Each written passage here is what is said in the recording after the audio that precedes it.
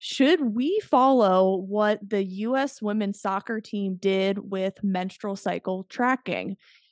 Does the menstrual cycle increase risk of ACL injury? And should we take time off when we experience the negative symptoms of the menstrual cycle. So, today we are going to answer some questions surrounding the female athlete menstrual cycle, as there are so many different myths out there, and we just want to bring some clarification today. So, of course, I have Emily Neff back on the show to further explain and debunk some of these myths. So, Emily, welcome back. Thank you so much. Super excited to be here. I always have to have you on for this topic just mm-hmm. because you are so, so knowledgeable and you definitely are up to date on the most recent research surrounding the menstrual cycle. So, we do have a list of myths and we're just going to run through them one at a time and just clarify for you guys what is true about the cycle. So, the first one is should teams uh, track their cycles as a team. So that's one of the biggest myths that, oh, we should all get our girls on the same page. We should make sure that they're all going through similar phases at the same time so that we can periodize together. But why is this a, a myth, Emily? There seems to be this myth out there that women can sync their cycles together. And it's first anecdotal, you know, maybe you have a friend and you're like, oh man, we're getting our period at the same time. It's because we're syncing. And there's this belief that, you know, females emit like a pheromone and that's what's causing your ovary to release an egg at a similar time as my ovary. And when you look at the research even though anecdotally it seems that way it's just a mathematical equation. Um so it has nothing really to do with hormones like my hormones influencing your hormones.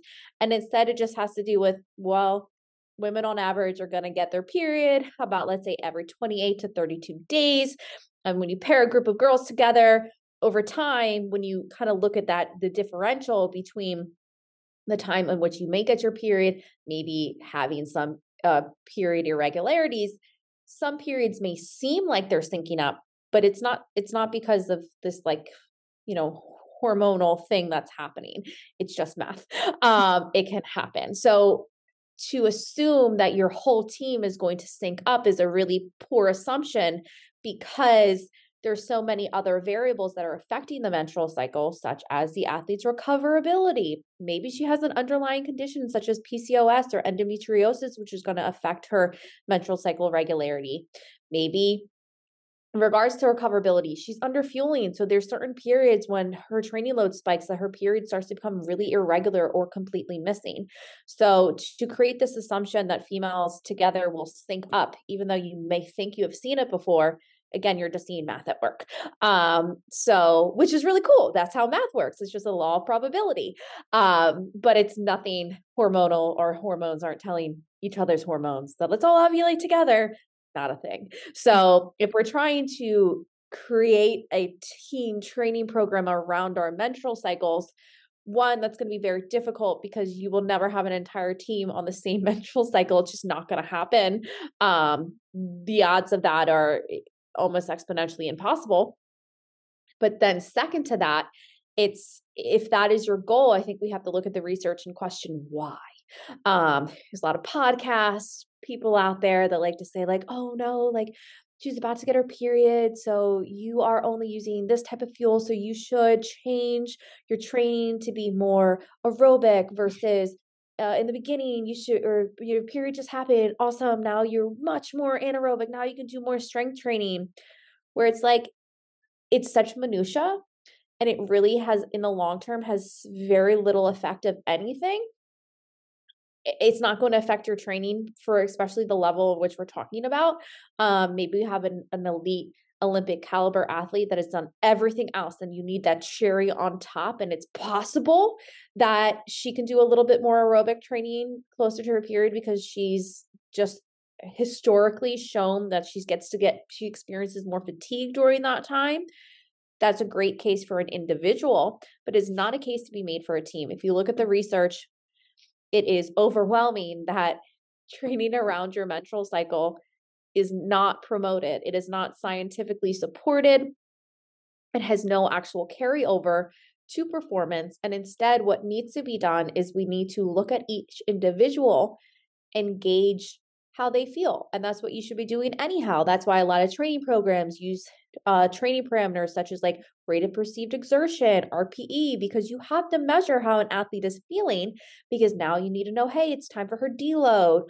Or, hey, she's feeling really great. We had planned deload, but she, her RPE is way lower than we had anticipated. We can we can keep peaching. She must be overreaching at this point if you want to go for that individual aspect, that's great, but we don't really need to include the period with it.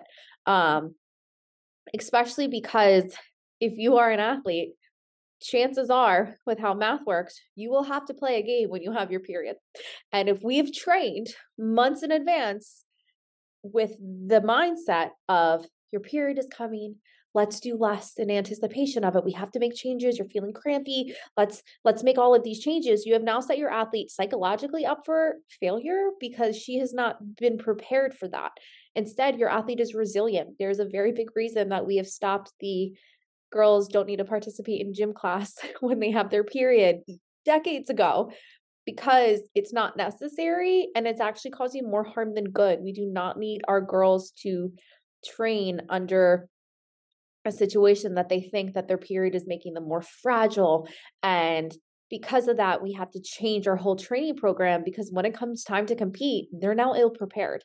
Instead if we actually took our training and we went through an rpe module or we just used certain training parameters we're like hey you're not feeling great today. What did you eat? What did you how did how mm-hmm. much did you sleep? And you just talked about the the main components of recovery that we can control that will affect how we feel from our menstrual cycle that is going to have such a greater carryover in the long term when it comes to now it's time to perform. Hey you've been noticing that you're not feeling too great leading up to this performance. Cool. Did you sleep extra last night? Have you been on your hydration? Have you been eating? You've already given her these actionable steps that she can take and now she's more prepared to perform um, versus if we did the opposite. That's so true and it's it's so important for athletes to be more proactive with the basics of good lifestyle habits as opposed to being reactive and sort of tiptoeing around that menstrual cycle. And I, I want to just return back to the team tracking real quick. I I always wondered why coaches wanted to get their teams on the same page. And I think this issue goes hand in hand with the periodization around the menstrual cycle. So, say you get your entire team, they get the same phases at the same time, which is highly unlikely, but say it happens and they're all in their menstrual phase. Does that mean that week you're not going to play a competitive game or you're not going to have a high intensity practice 3 days before a game. You're just going to cut back on things overall and do that more light to moderate aerobic work. Is, is that what people are trying to do is is that the goal of getting the team on the same page because it seems to me like we are coddling our female athletes to some extent so what are your thoughts on that I, I mean, I hate it because I think that it just we're we're putting we're putting females back to bring up again. We don't take girls out of gym class anymore because of their periods. We used to do that because that's what we thought. We thought that females were more fragile during their menstrual cycle. We literally thought that the ligament that held the uterus in place was more lax and therefore could snap and her uterus could fall out. And then science took over and was like, LOL, that's not what's happening. Her uterus is not going to snap out our uh, girls are great. They can definitely keep being active. In fact, it's actually recommended that they still stay active because exercise has been shown to help reduce all of those not nice side effects that comes with getting menstrual cycles like cramps, low back pain, extreme fatigue. Instead, if we actually promote things that push blood flow and push actual activity, we're going to see better long-term experiences with the menstrual cycle versus if we do the opposite. So by saying that or your period is coming and now we have to make changes to your program makes me feel like we are ta- we are just walking back decades in reverse And there is this saying in science that sometimes if too much information is bad information because you don't know what to do with it. And it's like, I love the push for more females in sport. Obviously, that is what I do, but we're doing a disservice to them if we think that tracking their menstrual cycle means that we're actually educating them. It doesn't. We're not actually doing anything productive with it. Instead, we're now using information that we don't know what to do with it. And instead, we're now reversing time and we're back to the gym class, take some time off days. And that has a long term poor effect on our athletes' performance. And in the grand scheme of things, if you look at, you've now added bigger spikes and valleys to your athlete's training load. So she's training really hard, but period's here, and then you're going to stop. But then she has three games coming up, and then you're going to peak her again. And you could have actually prepared her better for those peaks by modulating her training load instead of going from high to low to high to low. And now you've actually put her at a higher chance of injury. Again, not maliciously, that wasn't your intent, but we're using this data incorrectly it's great to have conversations with your athletes about her menstrual cycle because what's really the most important aspect is that is she getting a menstrual cycle? Is her menstrual cycle so irregular? Big warning sign. She's at a chance of injury because it's irregular. That means she's probably experiencing RED-S. Maybe her period is extremely painful and heavy. You need to recommend she goes to a healthcare provider because that's not normal. It's not normal for someone's period to be so heavy that they need like 12 tampons throughout the day. That's not that's a signal that something is not going correctly. And that's when you have to talk to a doctor about that because there's so many underlying factors that are important for you to work with your athlete now so that it's not uh, you know a disastrous issue when she's in her 30s and 40s so definitely pay it use the data but use the data to really track is she getting her period mm-hmm. um is it's a it is a vital sign of the body just like our heart rate just like um our vo2 maxes all of these things tell us how our body is operating well girls have an extra vital sign and it's called our period and we get to see the regularity of our period is going to allow us to understand hey is my athlete recovering Mm-hmm. And if it's it, that if it's not, that's like that's your red flag. Hey, we got to talk about recovery. We got to figure out what her food intake is, what her sleep, what her stress levels are. How can we start managing this better? Because this is an important vital sign. But whether or not she's getting her the timing of her period is not an important data point. Hmm.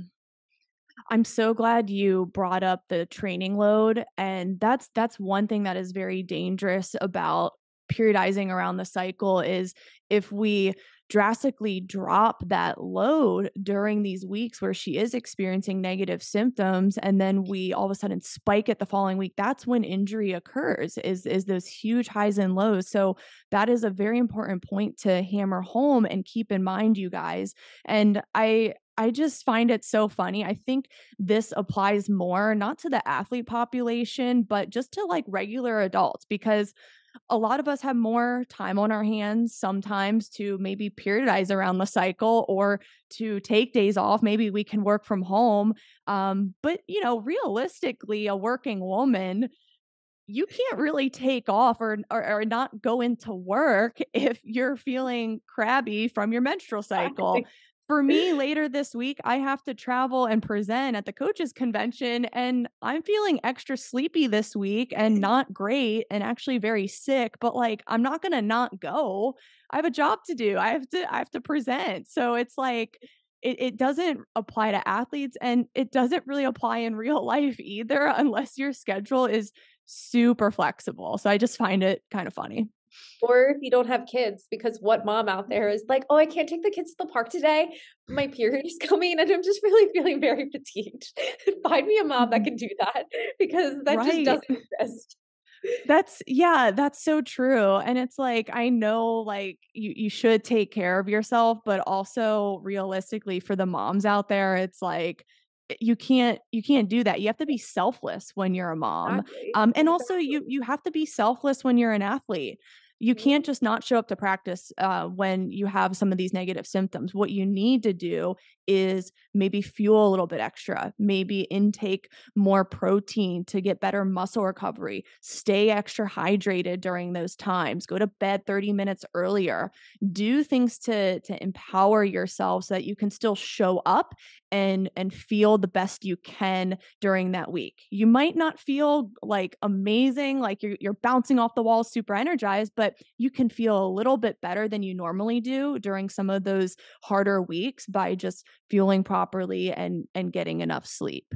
So Absolutely. The, and then and then jump into your practice and see how you feel after because I guarantee you're going to feel better after versus if you just stayed at home.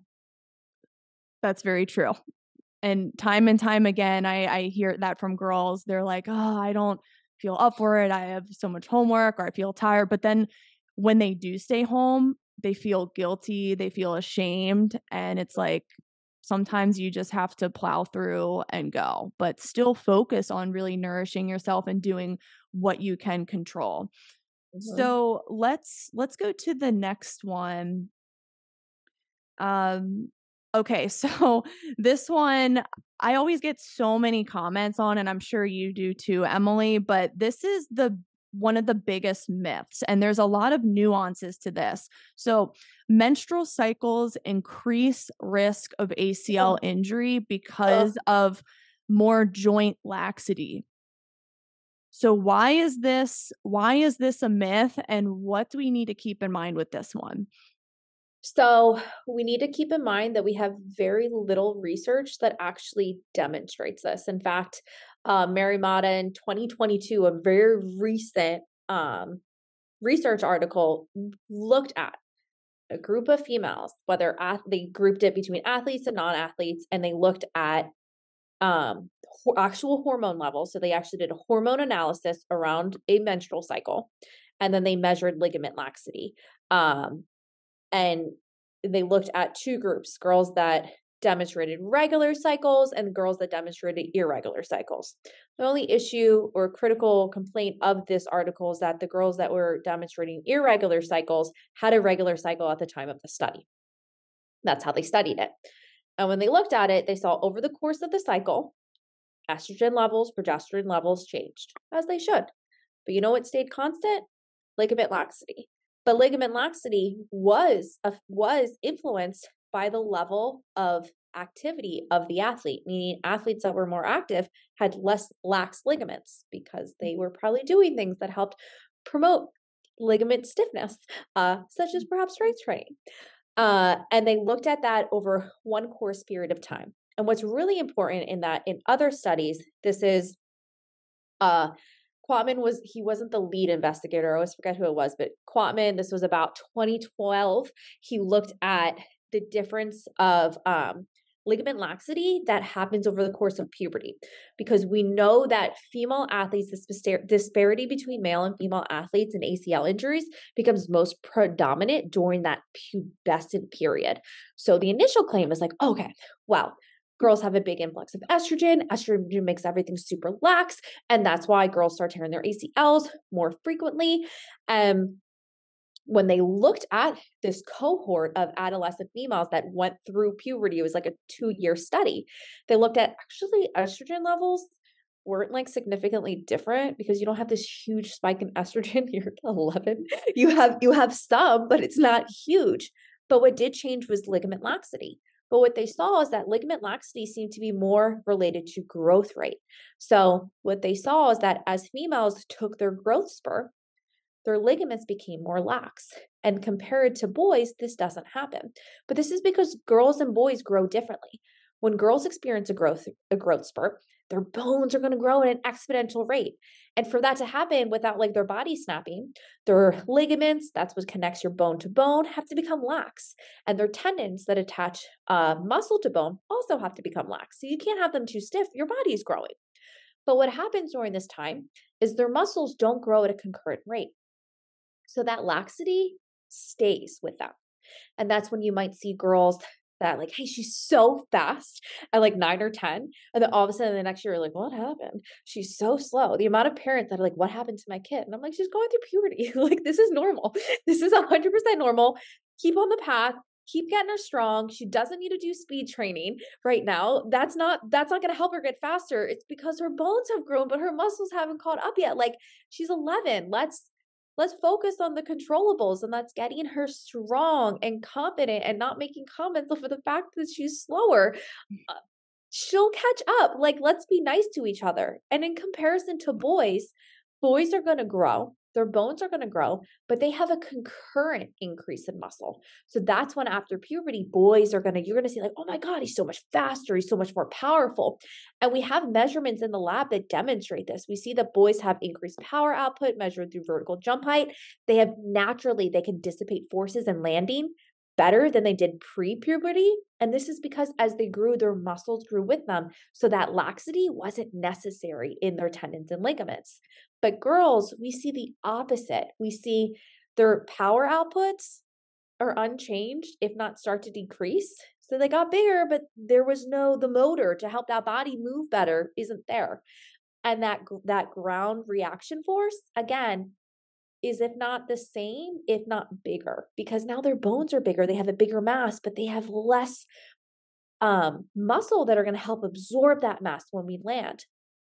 So that's what's really important when we look at this difference of injury rates that are starting to occur during puberty. It's less related to the hormones the way that we think that it is. And actually, it's more related to the fact that we grow differently. And if we don't give females the one tool that's going to help them kind of catch up. And when I say catch up, I don't mean that your daughter is going to look like your son. It's just not possible. Your your son, you puberty happened, they started here, your son is here. Your girl starts strength training, she'll be here. That's great. But your your son will always be ahead. That's just how hormones work. That's how he had a big influx of testosterone. And that's why his body is built the way that it is. It's the it's the spike of a certain hormone that affects things versus the uh, long term level of it. And that's something we have to keep in mind.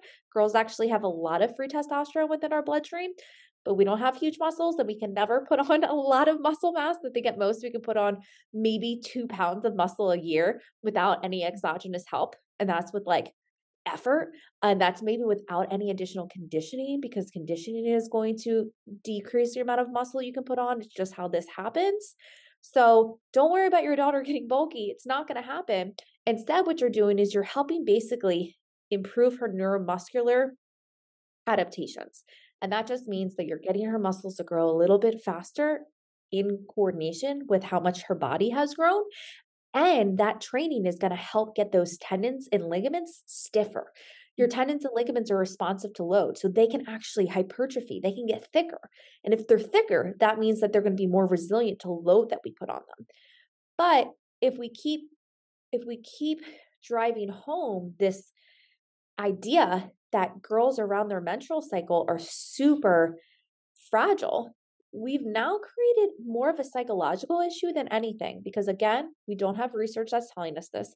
In the past 20 years, when we've been looking at female athletes and why they keep getting injured, we would have found this out by now. And we would have found this out with very conclusive evidence. We would have been like, yes, look, all girls always tear the ACL at this time in the menstrual cycle. This is definitely linked to their hormones, but we don't have that evidence. And we've been looking at these different sex differences for almost over over 20 years and we're not seeing that. Instead, we're seeing, hey, there's something else to the equation here. It has more to do with these difference of growth and the fact that we're not treating our boy athletes and girl athletes the same boy athlete, you're more willing to get into the strength room than our female athletes. And that's important because strength training can reduce the, your chance of an overuse injury, such as a non contact ACL tear, by 50% to an upwards of 68% in female athletes if you do it year round and about two times a week. And that's really what's most important. So, talking about, oh, well, my daughter tore her ACL and she got her period the next day. If you actually want to make that claim, when your daughter has her period, her hormones are actually at its lowest state. Because when you have your period, eh, your uterus is wiped free, that lovely um, lining. So your hormones have flatlined. So it's okay, so you're telling me your daughter has torn her ACL when her hormones have flatlined. So the hormonal claim doesn't make too much sense.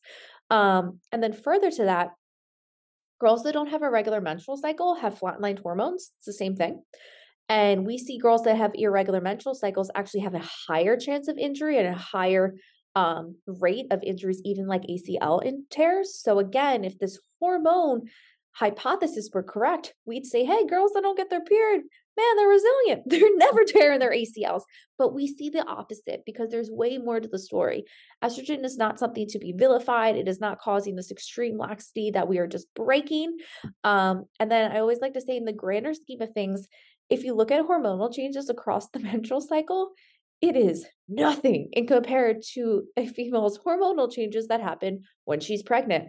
When she's pregnant, the changes in her hormones are way vastly different than they were. Mm. And we'd be saying pregnant ladies tear their ACLs left and right because pregnant ladies don't just like stop moving. They're not just like, okay, you're pregnant, you're in bed. We'd be seeing these knees popping and everything they do, but it's not directly linked to our hormones. And we can't keep making this claim because we're just running around in circles and not actually getting anywhere when we say it. That's so true. It's like everyone's just presenting this problem that w- is so inconclusive, but it, it it brings us back to what we should be doing anyway, Mm-hmm. Because there's more research behind that and that's strength training to improve stiffness of the joints and to really Mm-hmm. make those muscles durable to year-round sport specific load. So it's like why even tell female athletes, "Hey, you might be at a higher risk." They're just going to psychologically be like, "Oh my gosh, there's something wrong with me." And it might make her more hesitant when she's playing or she might just feel timid and just like ashamed of like being a female but it's like no do what you can control do what makes you stronger do what nourishes your body just come back to the basics because we know these help with sport performance and injury reduction so i think with that myth we can just scratch it all together and just don't even bring it up and i I hear a lot of coaches, especially male coaches, feeling like they have to talk to their girls about the menstrual cycle, and I would say to these guys, "Look, at least educate yourself on what's true and what's not." And you don't even need to bring up periods to your team. That that can be very awkward and weird coming from a male coach to 12-year-old girls.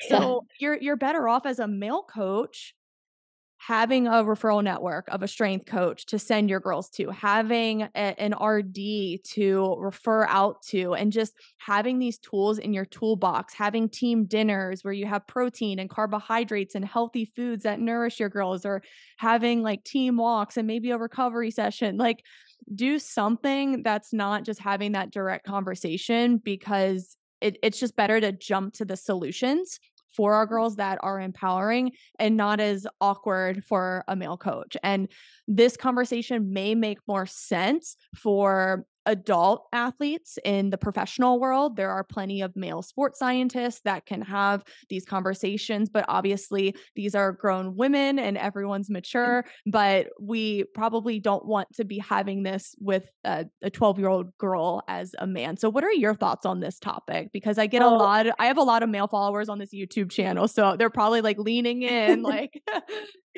I agree. I mean, we have to keep in mind too, these girls that are at this youth age, they just got their period.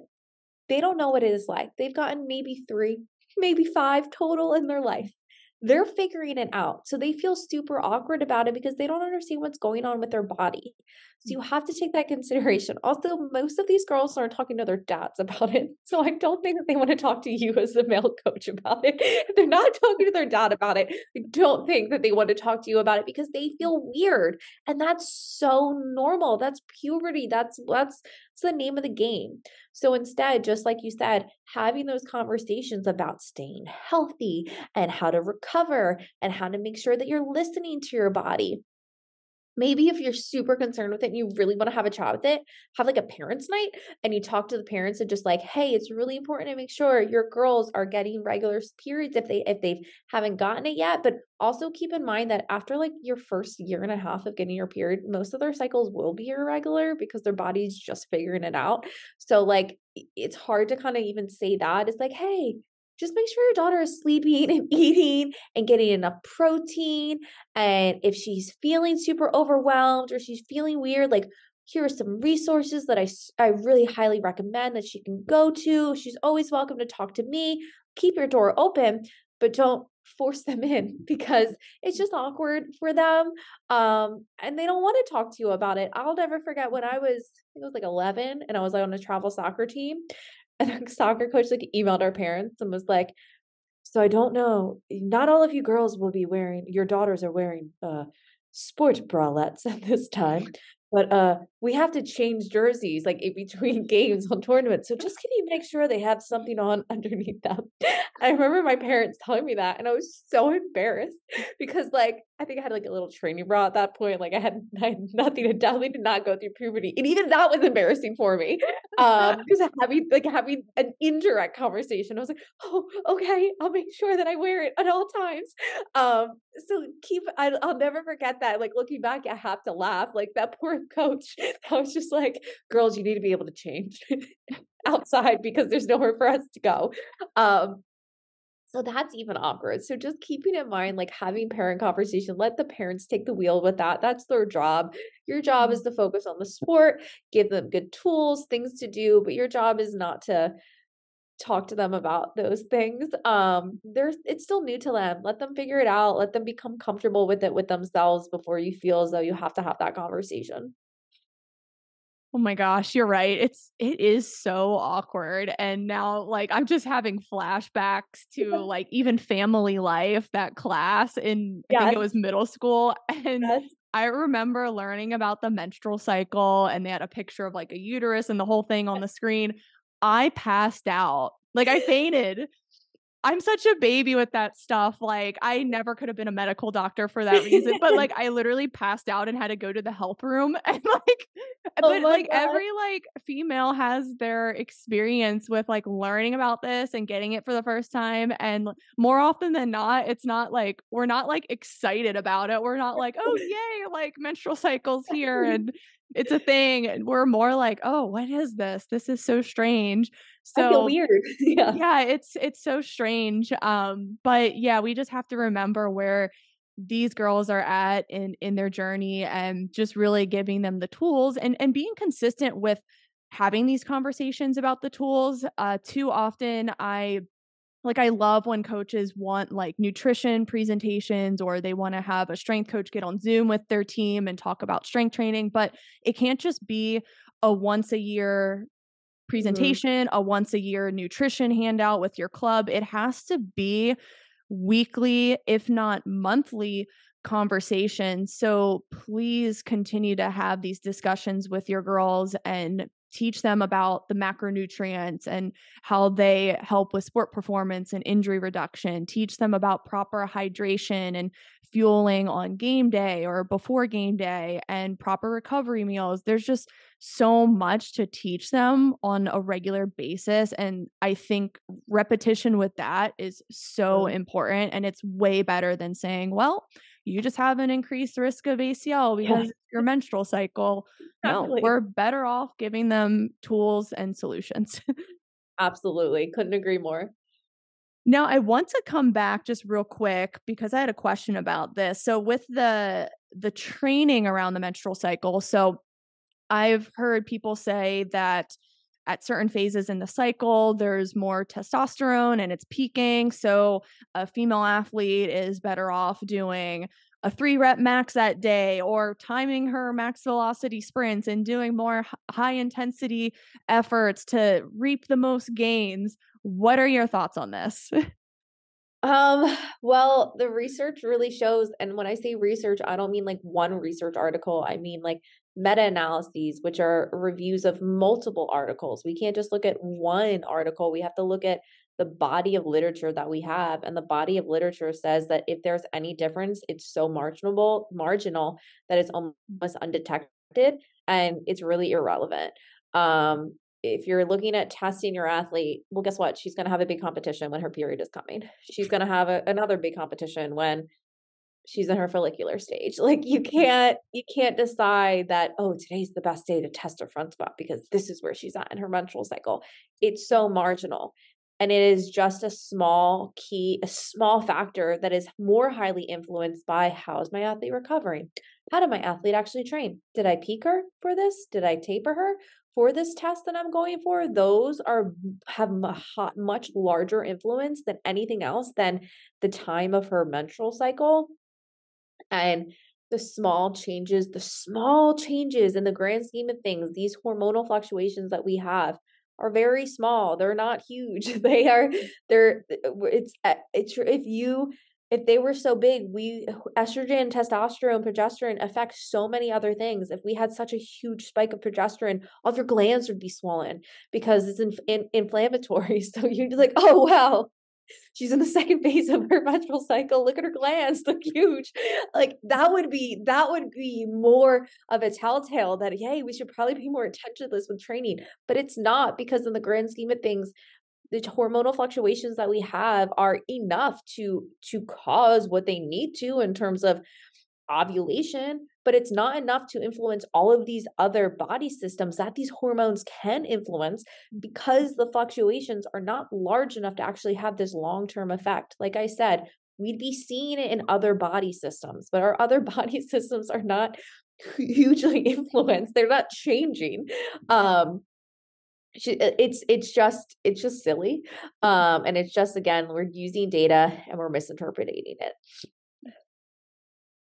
yeah, and it's also like an athlete is way better off just reaping gains by doing year-round consistent training 2 to 3 times a week. It's not going to be that that one week in in your cycle where you're going to get so insanely strong and fast. No, you're going to get strong and fast by consistently doing performance training year round and I mean there's so many benefits to that performance wise but also just teaching your girls really good habits and just taking care of their bodies and i i just think like a lot of these studies as far as periodizing around the cycle they they don't take into account all these variables of like girls we work with on a daily basis or girls in the the youth sports system. They're all from different uh, counties schools they have different academic loads sleep schedules there's just so much going into it that you you can't like go or work around with with your program you just have to keep them on a consistent schedule and if you three rep max during your menstrual phase then whatever if she's exactly. been training and has progressive overload and has accumulated good habits over time, she's going to do great on that three rep max, whether she's in her menstrual phase or her luteal phase. It, it, it doesn't it doesn't really ma- matter. And you're right, Emily. The the gains are just so so marginal. And again, there's just there's not enough research for us to know for sure to change what we're doing. We're going to keep doing what we're doing and we're going to year round performance train and get these girls into good habits. Exactly. Absolutely. Let's come back to the the growth spurt and the the joint laxity. So yeah, the, we've done a podcast on PHV and what what goes on goes on during this time, but I, I think a lot of coaches and parents need to understand that if a girl is going to start performance training, this is the time to do it because when she's going through her most rapid period in growth, it's literally like putting a, a 10 pound weight vest on her and telling her to move efficiently and mm-hmm. and f- as fast as she used to. So we we want to make sure during this time we're we're teaching her proper running form or how to mm-hmm. decelerate and the the movement patterns in the weight room so that she has good neuromuscular training and she reduces that chance of injury. So Emily, do you just want to expand a little bit further around the growth spurt and then we'll just wrap it up? Absolutely. I kind of love what you said with the weight vest. It's kind of like the equivalent equivalent of let's say you have this like junky car and now you put an elephant on top. And You're like, man, why is this junky car going faster? You're like, well, did you change the motor? did you did you help give quality fuel? Like you haven't actually given the subs the things that this car needs to actually move. You've just loaded her, and her load is going to happen when she grows. Her bones are heavy. These changes are heavy. She's also going to start accumulating more water because she has different tissues developing in her body, and that means more water accumulation. And water is still weighs something. So your athlete is physiologically changing and that doesn't mean that she's like in, in a like a poor inferior athlete compared to boys our women's bodies have to do a lot. So it takes a couple of years to get them prepared for the things, the most amazing things that they could do. Cause hey, without women, we wouldn't be here. So instead of looking at like, oh, that's why that's why women are inferior playing sports, it's like, no, we just have to play the long game. It doesn't, it just means that we are not going to peak when we're 15. It means that when we're 15, we still have to make sure that we we are developing these habits because research shows that actually females are going to peak their athletic performance in like their mid to late 20s and that's why you're going to see some more olympians that are older compared to men because that's when they've, they've peaked because they've been training and developing these habits and now they've kind of got their system into a situation that their bot that their muscles their neuromuscular system everything is now caught up to all of these other changes that have occurred in their body like I said, it's a long game. You have to give your athlete the tools that she needs to sustain the long game. But if we're trying to get a leg up on everyone super fast and you're like, oh, wow, my athlete looks really slow. I need to do on a program where she's doing basically the same thing that she's doing in practice. You've now just done, you've just added to her sport specific load and you haven't diversified anything. And without diversification, her athleticism won't develop. I think a big a big question I always have with parents are like, hey, well, my daughter plays lacrosse, like now I really want you to work on like her rotation and all this. I'm like, hey, that's your that's great. I love that you want me to work that you want her, those things to improve. My job is to develop her athleticism and her sport. Her lacrosse coach is going to be able to use that foundation and drive those sport specific skills. But if I only do her sport specific movements in here, I'm just adding to that overall fatigue. And she actually won't make the improvements as fast as you want them to, versus if we treat her as an athlete before the sport player.